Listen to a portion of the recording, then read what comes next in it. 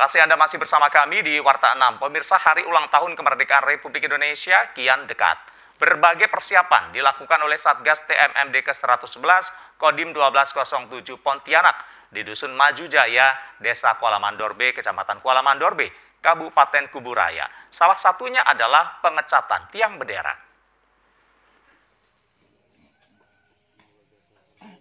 Untuk menyambut Hari Kemerdekaan anggota Satgas TMMD ke-111 Kodim 1207 Pontianak di Dusun Maju Jaya, Desa Kuala Mandor B, Kecamatan Kuala Mandor B, Kabupaten Kuburaya, melakukan pengecetan tiang bendera.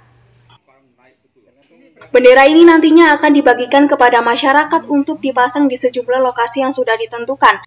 Semua disiapkan dalam memeriahkan ulang tahun Hari Kemerdekaan Republik Indonesia ke-76.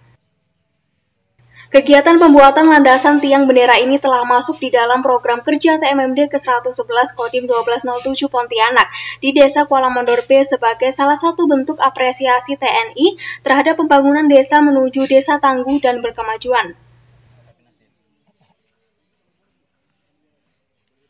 Tentu banyak makna heroik dan pesan nasionalisme yang disampaikan dalam Sang Merah Putih. Masyarakat diingatkan kembali perjuangan para pahlawan dalam merebut kemerdekaan Republik Indonesia.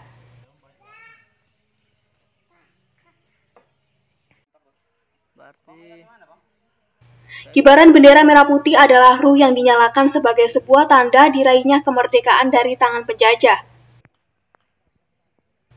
Di Dusun Manjujaya, Desa Kuala Mandor B, Kecamatan Kuala Mandor, semangat merah putih harus dipancarkan, memantik semangat Satgas TMMD 111 dan masyarakat untuk terus melanjutkan pembangunan. Tim Liputan KSTV